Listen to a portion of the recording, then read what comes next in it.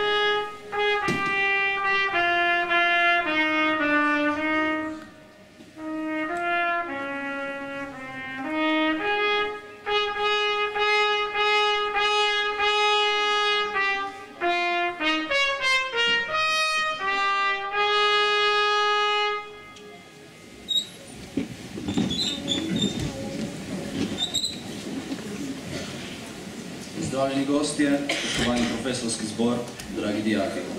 Leto se je zasukalo, december se utruja, čeprav se oglašata veselje in pesem. Tu so tudi zgodovinski dnevi. Naša domovina praznuje prav v teh razigranih dneh. Njo, njene lepote bodo pobožile naše današnje besede. Pele ji bodo ljubezen in hvalo.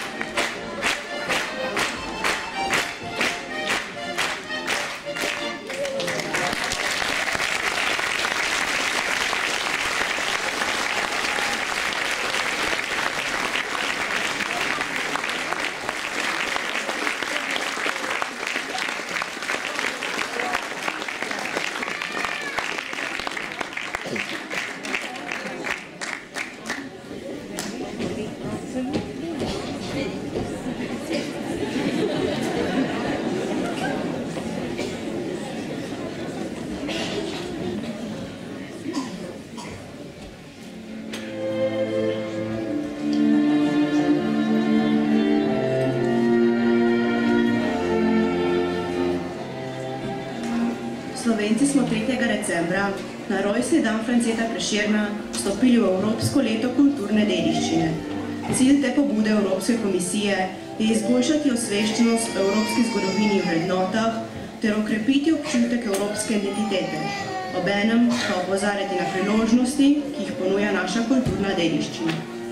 Spodbujanje kulturne raznolikosti, medkulturni dialog in socialno kohezijo so v okviru praktičnega usposabljanja v vrtcih občutili tudi dijaki in dijakinje, ki so bili na jeseni na Erasmus plus mobilnosti v Avstriji, Italiji, na Mačarskem in Portugalskem.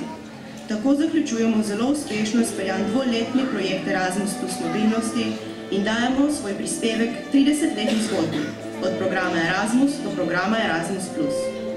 Gospod ravnatelj je na jutranji prireditvi podelil Erasmucem, ki so izkusili mobilnost v Bragi, Budimpešti, na Dunaju v Milanu, potrdila o Europass mobilnosti.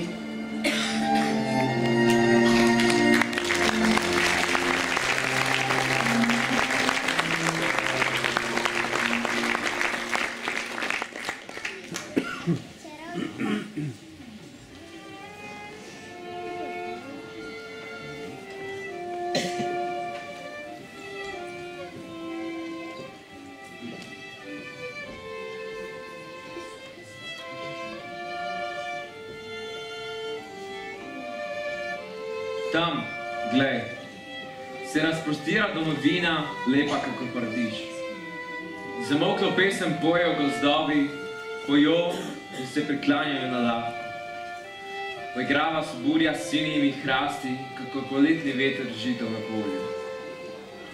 Ker nisem jaz, gospodar te lepoti, ki ni kraja,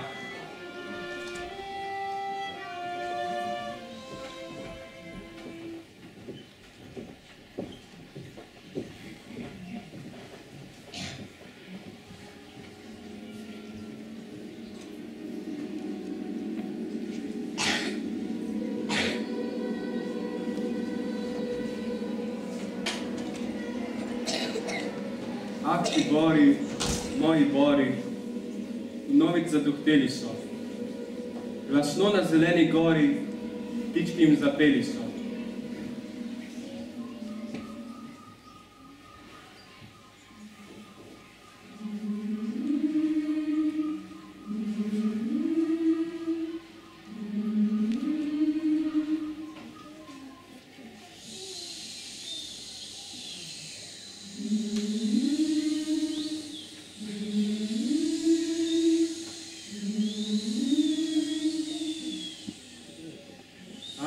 Pihljali so vršaci, vetrci lahno, lahno.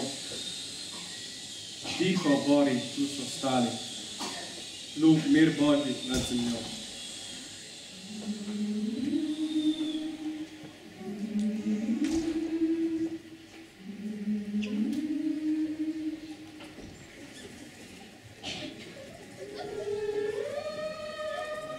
Močan si, o slovenski narod.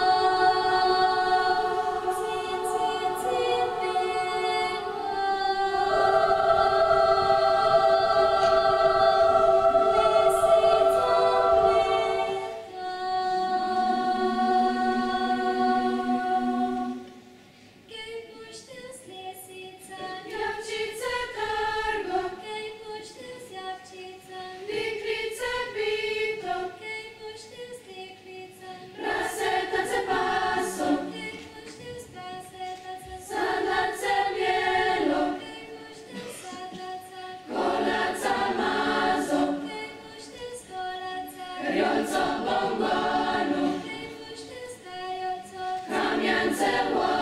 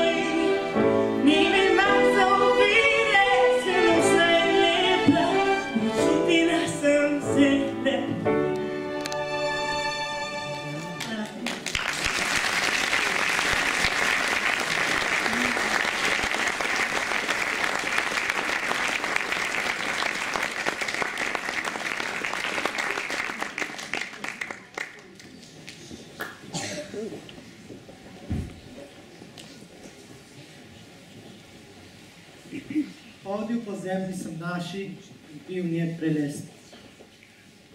Ljubil sem jo. Potapljal sem se v valove njenih žit. Sam, sam s seboj, mlad, mlad, to se pravi, v srcu vsega življenja. Hodil po zemlji sem naši in pil njen prelesti.